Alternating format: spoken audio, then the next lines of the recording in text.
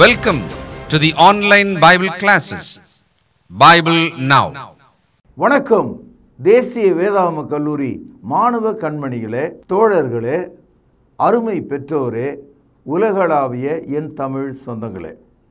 உங்கள் அனைவருக்கும் என்னுடைய நெஞ்சார்ந்த வாழ்த்துதலை தெரிவிக்கிறேன். இந்த நாட்களில் சபை சரித்திரம் சர்ச் ஹிஸ்ட்ரி என்ற தலைப்பில் இந்த பாடத்தை நம்ம படிக்கிறோம். கடந்த சில நாட்களாக மிக ஆழமாக ராஜ்யம் என்றால் என்ன என்ற ஒரு கருத்தை நாம் படித்தோம். வாட் இஸ் எ கிங்டம் இந்த கிங்டம் என்ற வார்த்தையை ரெண்டாக நம்ம பிரிக்கலாம். கிங் ப்ளஸ் டொமைன் ராஜ்யம் என்ற சொல்ல ரெண்டாக பிரிக்கலாம். ராஜா ப்ளஸ் பூஜ்ஜியம் அதாவது நிலப்பரப்பு. ராஜாவும் ராஜ்யமும் இருந்தால் தான் அது ராஜ்யம்னு சொல்ல முடியும். ராஜா இல்லைன்னா எப்படி? அதே போல் ராஜா இருக்கிறாரு ஆனால் அவருக்கு ஆளுவதற்கு பூமி இல்லை. அப்போ அவர் எப்படி ராஜாவாக இருக்க முடியும்? அதனால தான் ஒரு கவிஞன் பாடினான். நான் ஒரு ராஜ்யம் இல்லா ராஜா என்று அவன் பாடினான். அது தவறு. அப்போது எப்போதும் ராஜ்யம் என்பது ஒரு ராஜாவை காண்பிக்கிறது. அந்த ராஜா ஆளுவதற்கான ஒரு நிலப்பரப்பு டெரிட்டரி அதை காண்பிக்கிறது. மூன்றாவதாக ஒரு ராஜா ஆளணும்னா அங்கே மனிதர்கள் இருக்கணும். அவர்களை குடிமக்கள் என்று சொல்லுகிறோம் சிட்டிசன்ஸ் என்று சொல்லுகிறோம். நான்காவதாக ஒரு ராஜா ஆளணும்னு சொன்னால் அவனுடைய எல்லையும் கவனிக்கணும். அந்த மனிதர்களையும் ஆளணும்னு சொன்னால் அவனுக்கு ஒரு சட்டம் தேவை. அப்போது ஒரு சட்டம் இல்லாமல் ராஜ்யத்தை ஆள முடியாது. Therefore a kingdom has four part number one a king number two a territory or a domain number three a citizen or people number four a law to reach the people அதாவது இந்த நாலு விஷயம் இல்லாமல் ராஜ்யம் அமையாது ராஜா தேசம் மக்கள் சட்டம் நேற்றைய பாடத்தில் ராஜா யார் என்று கவனித்தோம் இன்றைய பாடத்தில் அவர் ஆளுகிற தேசம் அந்த டெரிட்டரி அந்த நேஷன் எப்படிப்பட்டது என்பதாக நம்ம பார்க்கலாம்.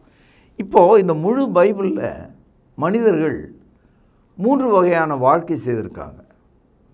ஒன்று ஆதியாம கால மனிதர்கள் பிறகு யாத்திரையாகமத்திலிருந்து மல்கியா வரைக்கும் இருக்கிற புத்தக காலத்தில் வாழ்ந்த மனிதர்கள் புதிய ஏற்பாடு என்று சொல்லக்கூடிய மத்திய முதல் தொடர்ந்து வருகிற புத்தகங்கள். இந்த மூன்று வகையான காலகட்டத்தில் தேவன் தமது ஜனங்களை எப்படிப்பட்ட ஒரு நிலப்பரப்பில் ஒரு தேசத்தில் அவர்களை வைத்திருந்தார். இது ரொம்ப ஆச்சரியமாக இருக்குது when you read the entire Bible இந்த book of Genesis God has given to people a kind of a territory following the Exodus till Malachi you will see see territory. But in the New Testament, God has given an altogether a new territory. ஒரு புது தேசத்தை அவர்களுக்கு கொடுக்கிறார். ஆகவே இந்த தேசம் என்ன அப்படின்றத எட்டு காரணங்களாக இன்றைக்கு நாம் படிக்க இருக்கிறோம். முதலாவது ஆதாம் ஏவாளை தேவன் அவர்கள் பாவம் செய்யாமல் இருந்தபோது அவர்களுடைய கால் அடியில் எப்படிப்பட்ட ஒரு தேசத்தை வைத்திருந்தார்? Under the very feet of Adam and Eve God's put a nation அது எப்படி இருந்தது? ஆதியாகமும் இரண்டாவது அதிகாரம் ஒன்பதாவது வசனம். தேவனாகிய கர்த்தர் பார்வைக்கு அழகும் புசிப்புக்கு நலவுமான சகலவித விருட்சங்களையும் தோட்டத்து நடுவிலே ஜீவ விருட்சத்தையும் நன்மை தீமை அறித்தக்க விருட்சத்தையும் பூமியிலே முளைக்க பண்ணினார். தோட்டத்துக்கு தண்ணீர் பாயும்படி ஏதேனிலிருந்து ஒரு நதி ஓடி அங்கே இருந்து பிரிந்து நாலு பெரிய ஆறுகளாயிற்று. முதலாம் ஆற்றுக்கு பைசோன் என்று பெயர். அது ஆவிலா தேசம் முழுவதும் சுற்றி ஓடும் அவ்விடத்தில் பொன் விளையும். அந்த தேசத்தின் பொன் நல்லது அவ்விடத்தில் பிதலோகம் கோமேதக கல்லும் உண்டு. இரண்டாம் ஆற்றுக்கு கீகோன் என்று பெயர். அது எத்தியோப்பிய தேசம் முழுவதையும் சுற்றி ஓடும். மூன்றாம் ஆற்றுக்கு இதகேல் என்று பெயர். அது அசிரியாவுக்கு கிழக்கே ஓடும். நாலாம் ஆற்றுக்கு ஐபராத் என்று பெயர்.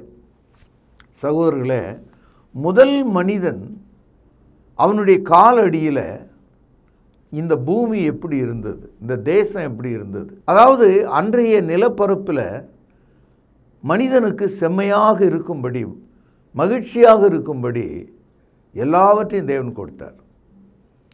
பார்வைக்கும் புசிப்புக்கும் ஏற்ற கனிகள். வாழ்நாளெல்லாம் வாழ்வதற்கான ஜீவ விருட்சம். எப்போதும் தண்ணீர் குடித்து மகிழ்ச்சியாக இருப்பதற்காக நான்கு நதிகள். எவ்வளவு தேவையோ அவ்வளவு பொன்னும் கோமேதக கல்லும் விலையேர்ந்த எல்லா பொருளும் அவன் காலடியிலேயே இருந்தது.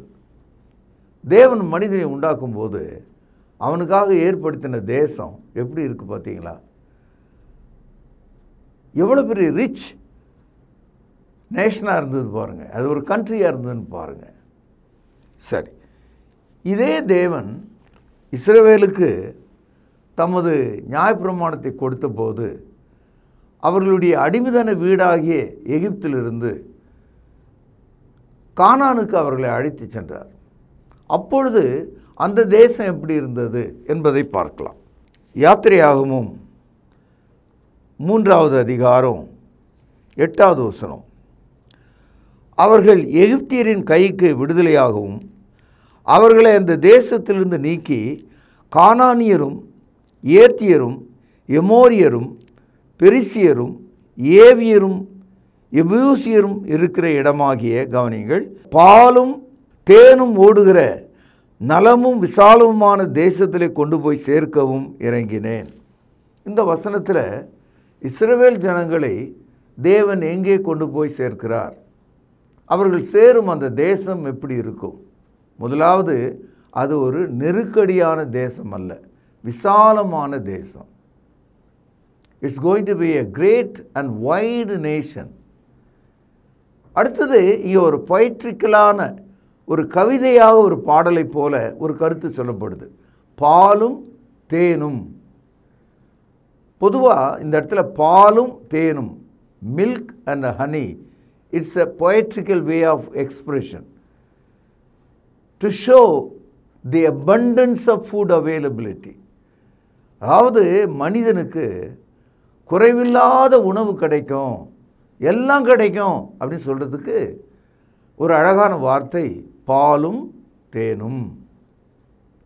என் அன்பு சகோதரர்களே தேவன் எப்படிப்பட்ட விசாலமான ஒரு தேசம் அந்த இஸ்ரேல் ஜனங்களுக்கு கொடுத்தார் என்பதை நீங்கள் பார்க்கலாம். உபாகமும் ஆறாம் அதிகாரம் பதினோராவது வசனம். பக்கம் இரநூற்றி முப்பத்தி ரெண்டு பழைய ஏற்பாடு. நீ நிரப்பாத நல்ல வஸ்துக்களாலும் நிரம்பிய வீடுகளையும் நீ வெட்டாமல் வெட்டப்பட்டிருக்கிற துறவுகளையும் நீ நடாத திராட்சை தோட்டங்களையும் ஒலிவ தோப்புகளையும் அவர் உனக்கு கொடுப்பதனால் நீ சாப்பிட்டு திருப்தியாக இருக்கும்போது அதாவது இஸ்ரேல் ஜனங்களை பாலும் தேனும் ஓடுகிற காணானுக்குள்ளே தேவன் அனுப்பும்போது அவர்களுக்கு பலவிதமான ஆசீர்வாதங்களை கொடுத்தார். யாரும் போய் வீடு கட்ட வேண்டிய அவசியம் இல்லை. கட்டாத வீடுகள். யாரும் திராட்சை தோட்டங்களை நாட்ட வேண்டியதில்லை. ஏற்கனவே அது நாட்டி இருக்கிறது. யாருமே ஒலிவ தோப்புகளை உருவாக்க வேண்டியதில்லை. ஏற்கனவே அது ஒழுங்காக வைக்கப்பட்டிருக்கு. அதாவது இந்த வசனத்தில் ஃபுல்லி ப்ரிப்பேர்டு நேஷன் எல்லாம் கட்டி அவர்களுக்கு தேவன் கொடுத்தார். இஸ்ரவேலர்களுக்கு தேவன் கொடுத்த அந்த ஆசீர்வாதத்தை எண்ணி பாருங்கள். உபாகமும் ஏழாவது அதிகாரம் பதிமூன்றாவது வசனம் பக்கம் இரநூத்தி முப்பத்தி மூன்று. உன்மேல் அன்பு வைத்து உன்னை ஆசிர்வதித்து உனக்கு கொடுப்பேன் என்று உன் பிதாக்களுக்கு ஆணையிட்டு கொடுத்த தேசத்தில் உன்னை பெருக பண்ணி உன் கர்ப்ப கனியையும் உன் நிலத்தின் கனிகளாகிய உன் தானியத்தையும் உன் திராட்சை ரசத்தையும் உன் எண்ணெயையும் உன் மாடுகளின் பலனையும் உன் ஆட்டு மந்தைகளையும் ஆசிர்வதிப்பேன். அந்த தேசம் பாலும் தேனும் ஓடுகிற அளவில்லாத ஆசீர்வாதத்தை உடையது மட்டுமல்ல வீடுகளும் வாசல்களும் கட்டப்பட்டது மட்டுமல்ல ஒலிவ தோப்புகளும் திராட்சை தோட்டங்களும் உருவாக்கப்பட்டது மட்டுமல்ல. ஆண்டவர் சொல்கிறாரு குழந்தை இல்லை. அதாவது கர்ப்ப கனி உனக்கு அடைக்கப்படாது.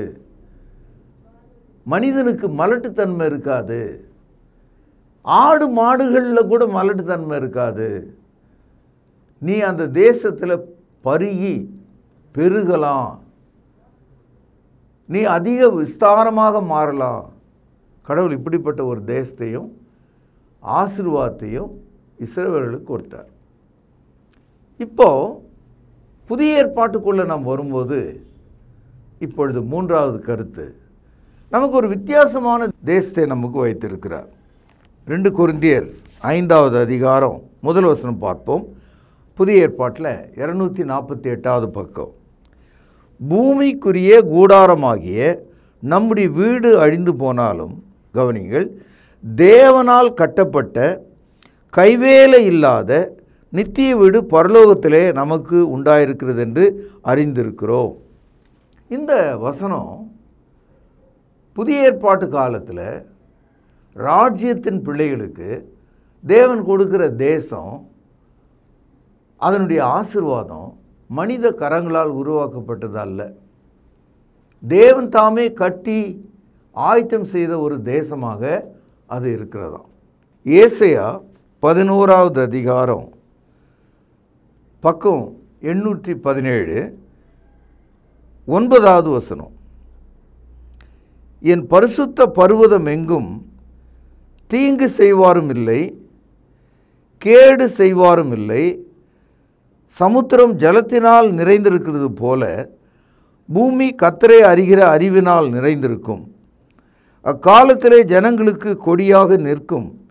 ஈசாயின் வேருக்காக ஜாதிகள் விசாரித்து கேட்பார்கள்.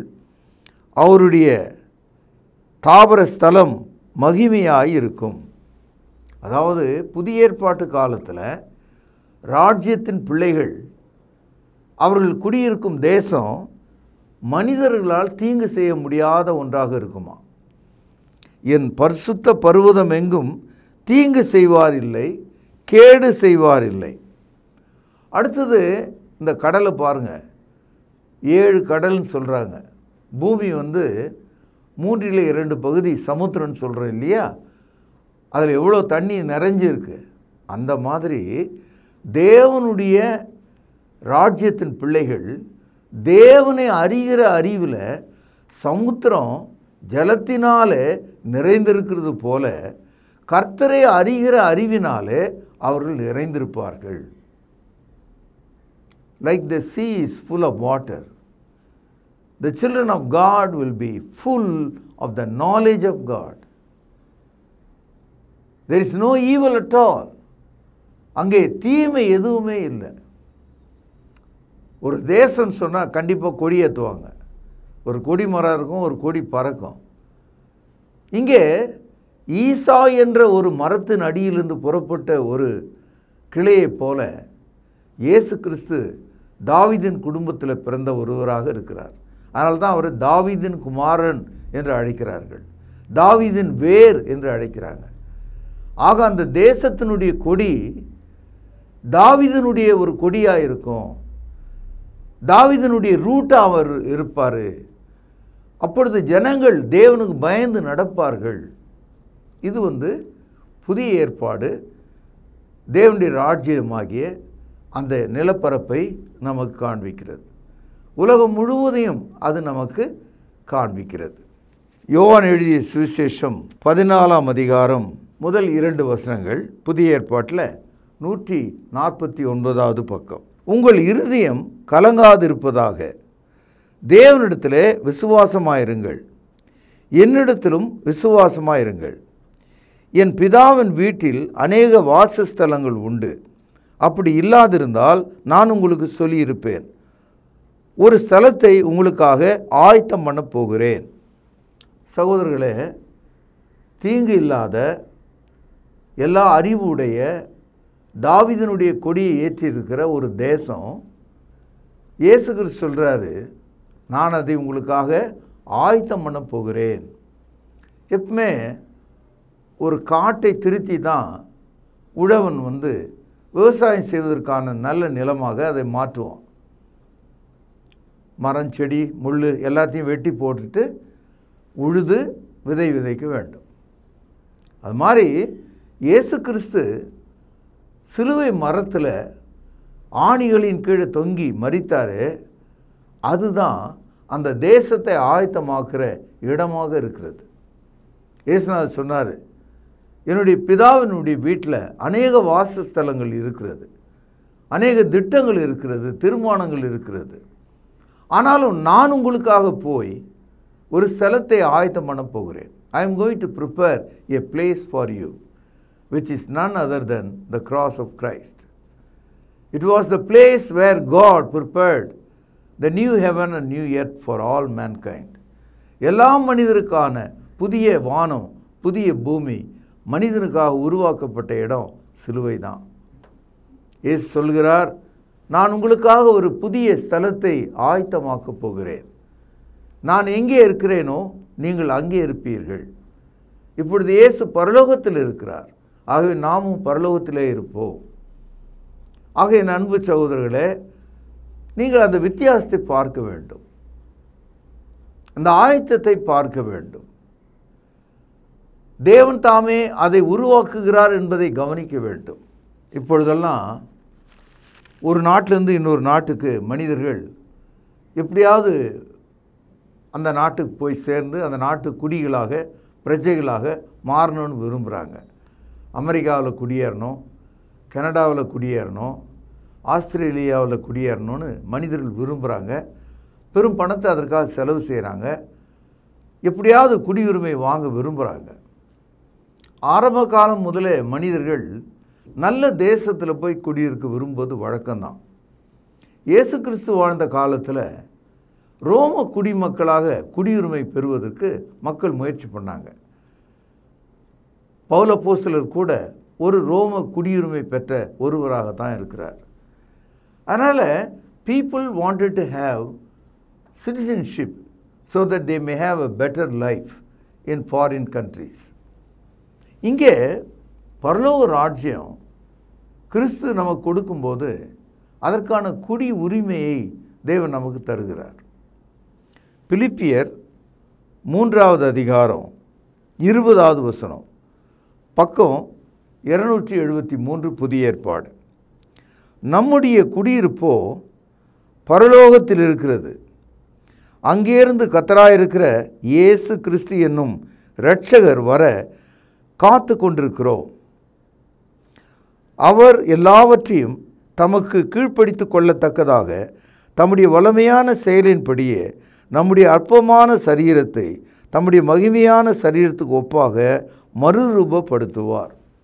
இந்த இரண்டு வசனங்களில் நமக்கு குடியுரிமை கிடைக்கும்போது அந்த குடியுரிமைக்கு ஏற்ற உடலை தோற்றத்தை அவர் மாற்ற விரும்புகிறார்.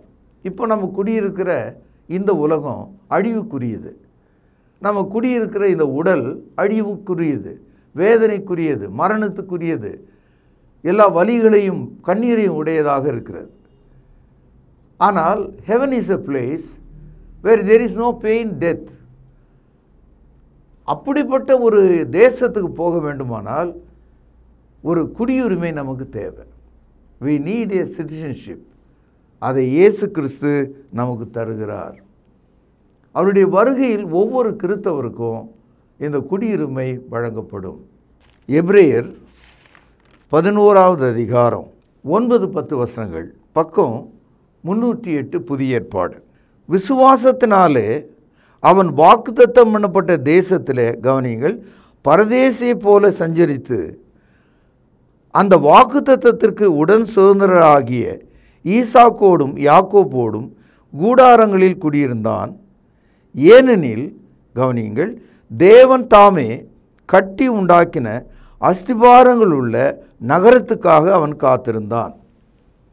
அதாவது ஆதியாகமும் பன்னிரெண்டாம் அதிகாரத்தில் தேவன் ஆபிரகாமை அழைத்தார். இருபத்தி நாலாம் அதிகாரத்தில் ஈசாக்கு. அதை தொடர்ந்து நாம் யாக்கோபை படிக்கிறோம். ஒரு மூணு ஜெனரேஷன் இந்த மூன்று ஜெனரேஷனும் கத்தர் அவர்களுக்கு பொன் வெள்ளி நிலங்கள் எல்லாம் கொடுத்திருந்தும் கூட அவர்கள் தற்காலிகமாக ஒரு கூடாரம் அமைத்து குடியிருந்தார்களாம்.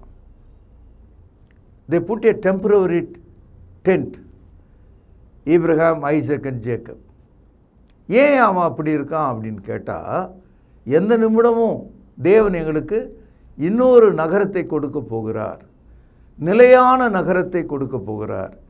அழியாத நகரத்தை கொடுக்க போகிறார். பரிசுத்த ஆவியானவர் சொல்கிறார் ஆபிரகாம் தேவன் தாமே கட்டி அஸ்திவாரமிட்ட ஒரு நகரத்துக்காக அவன் காத்திருந்தான். ஆகவே அவனும் அவனுடைய பிள்ளைகளும் பேர குழந்தைகளும் கூடாரத்திலே குடியிருந்தார்கள். ரெண்டு குருந்தியர் ஐந்து ஒன்றில் படித்தோம் பூமிக்குரிய இந்த கூடாரம் அழிந்து போனாலும் கைவேலை இல்லாத ஒரு நித்திய வீட்டை பரலோகத்தை தேவன் நமக்கு தருவார். இப்போ உங்களுக்கு விளங்கியிருக்கோம் புதிய ஏற்பாடு எப்படிப்பட்ட ஒரு டெரிட்டரி எப்படிப்பட்ட ஒரு தேசத்தை ராஜ்யத்தின் பிள்ளைகளுக்கு தருகிறது என்று நாம் பார்க்கிறோம். வெளிப்படுத்தல் இருபத்தி ஓராம் அதிகாரம் முதல் வசனம் புதிய ஏற்பாட்டில் முன்னூற்றி ஐம்பத்தி மூன்றாவது பக்கம். பின்பு நான் புதிய வானத்தையும் புதிய பூமியும் கண்டேன். அப்போது ஆதாமிலிருந்து எல்லா மனிதர்களும் குடியிருந்த இடம் பூமி. ஆனால் கிறிஸ்துக்குள்ளே கிறிஸ்துனால் கட்டப்பட்ட கைவேலை இல்லாத அந்த நித்திய வீடு புதிய வானம் புதிய பூமி என்று அழைக்கப்படுகிறது. New heaven new earth. இதை தேவனுடைய பிள்ளைகளாகிய பரிசுத்தவான்களுக்கு ராஜ்யத்தில் தேவன் தருகிறார். பாருங்கள் இருபத்தி ஓராம் அதிகாரம் மூன்றாவது வசனம்.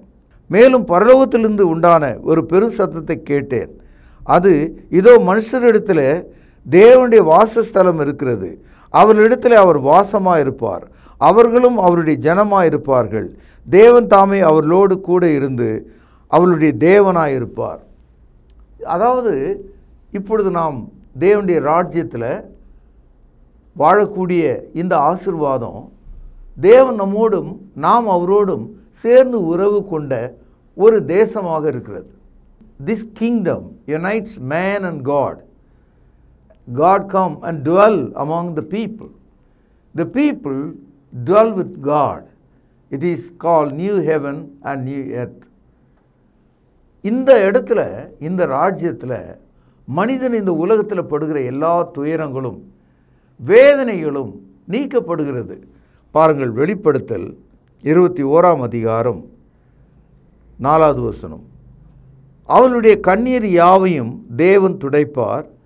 இனி மரணமும் இல்லை துக்கமும் இல்லை அலறுதலும் இல்லை வருத்தமும் இல்லை முந்தினவைகள் எல்லாம் ஒழிந்து போயிற்று என்று விளம்பினது. சிங்காசனத்தின் மேல் வீற்றிருக்கிறவர் இதோ நான் சகலத்தையும் புதிதாக்குறேன் என்றார். என் அன்பு சகோதரிகளே இன்றைக்கு நம்ம எட்டு காரியங்களை கவனித்தோம். அதாவது ஆதியாம காலத்தில் தேவன் மனிதனுக்கு கொடுத்த ஒரு தேசம். அங்கே வந்து பொன் இருந்தது வெள்ளி இருந்தது ஜீவ விருட்சம் இருந்தது தேசம் அகலமாக இருந்தது மனிதன் காலடியில் எல்லாம் இருந்தது. அதுக்கு பிறகு இஸ்ரேவேலுடைய வாழ்க்கையை நம்ம கவனிக்கும்போது பெரிதும் விசாலமுமான பாலும் தேனும் ஓடக்கூடிய ஒரு தேசம். அவர்கள் கட்டாத வீடுகள் நிரப்பாத வஸ்துக்கள் நாட்டாத தோட்டங்கள் திராட்சை தோட்டங்கள் ஒலிவ தோப்புகள் எல்லாம் ஆயத்தமாக இருந்தது ரெடிமேடாக இருந்தது. அதுக்குள்ளே அவன் போனான். அந்த தேசத்தில் அவர்களுக்கு மலட்டுத்தன்மை என்பது இல்லை. அது ஆண்களுக்கும் பெண்களுக்கும் இல்லை மிருக ஜீவன்களுக்கும் இல்லை. சகலமும் பலுகி பெருகியது. இப்படிப்பட்ட ஒரு தேசத்தை இஸ்ரேவேலர்களுக்கு கொடுத்தார். ஆனால் புதிய ஏற்பாட்டுக்குள்ளே வரும்போது கைகளால் கட்டப்படாத ஒரு தேசம். அந்த தேசத்தில் எந்த தீங்கும் கிடையாது. கிறிஸ்து தாமே சிறுவையிலே அதை நமக்காக ஆயத்தமாக்குகிறார். அதற்கான குடியுரிமையை தேவன் வழங்குகிறார். அந்த தேசத்துக்காக ஆபிரகாம் முதற்கொண்டு அவனுடைய குடும்பம் முழுவதும் காத்திருந்தது. அந்த தேசம் புதிதாக புதிய வானம் என்றும் புதிய பூமி என்றும் பேசப்பட்டது. எட்டு காரியங்களை நம்ம கவனித்தோம் இந்த எட்டு காரியங்களும் பைபிள் முழுக்க நாம் படிக்கிற சத்தியங்களாக இருக்கிறது. அதில் குறிப்பாக கடைசியாக நான் பேசின ஏழு விஷயங்கள் புதிய ஏற்பாட்டு காலத்தில் அந்த ராஜ்யம் எப்படிப்பட்டது என்பதை நாம் பார்க்கிறோம். மீண்டும் உங்களுக்கு சொல்கிறேன் ஒரு தேசம் நான்கு காரியங்களை உள்ளடக்கியதாக இருக்கும். ஒரு ராஜ்யம் சொன்னால் அங்கே ராஜா இருக்கணும். இரண்டாவது தேசம் இருக்கணும். மூன்றாவது குடிமக்கள் இருக்கணும். நாலாவது சட்டம் இருக்கணும். புதிய ஏற்பாடு நமக்கு கிறிஸ்துவை ராஜாவாக காண்பிக்கிறது. திருச்சபையை ராஜ்யமாக காண்பிக்கிறது. கிறித்தவர்களை குடிமக்களாக காண்பிக்கிறது சட்டமாக புதிய ஏற்பாட்டை நமக்கு காண்பிக்கிறது. இங்கே இந்த ராஜ்யம் என்று அந்த தேசத்தை பற்றி படித்தோமே அது அதனுடைய ஆசிர்வாதங்கள் என்ன என்பதை இந்த எட்டு காரணங்களில் நம்ம புரிந்து கொண்டோம். இதனுடைய தொடர்ச்சியை நாளை நாம் கவனிக்கலாம். பிரார்த்தனை செய்வோம். கிருபையும் இரக்கமும் தயவு நிறைந்த தகப்பனே எல்லாவற்றையும் புதிதாக்குகிறேன்.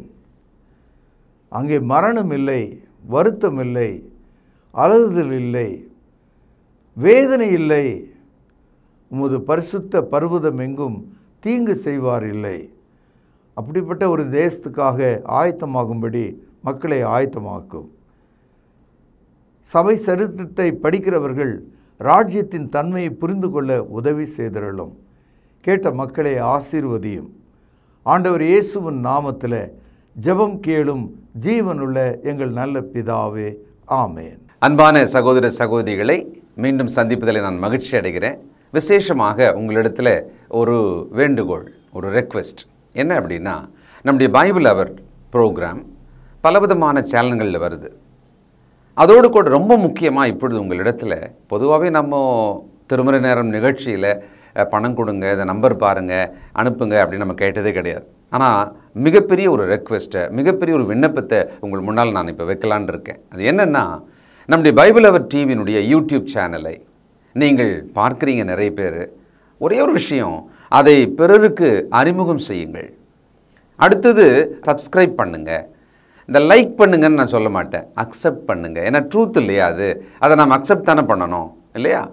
அடுத்தது அந்த வியூஸ் எவ்வளோ பார்க்குறாங்களோ அவ்வளவு தூரத்துக்கு நாம் அந்த வசன விதைகளை இன்னொருவருக்கு நாம் கொண்டு சென்றதாக இருக்கும். பழைய ஏற்பாட்டு காலத்தில் குஷ்ரோகிகள் எல்லாருமே சாகிற ஒரு தருவாயில் ஊரே இருக்குது பட்டணமே இருக்குது.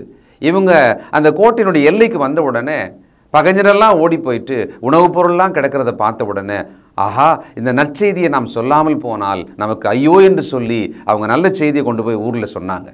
அதுபோல் இந்த சுவிசேஷம் இந்த சத்தியம் இந்த கிறிஸ்தவ விழிப்புணர்வு ஒருவர் பேச அதை மற்றவர்களுக்கு அறிமுகம் செய்கிற ஒரு வேலையை ஒரு அந்திரியாவினுடைய வேலையை அவர் அவர் தானே பண்ணார்?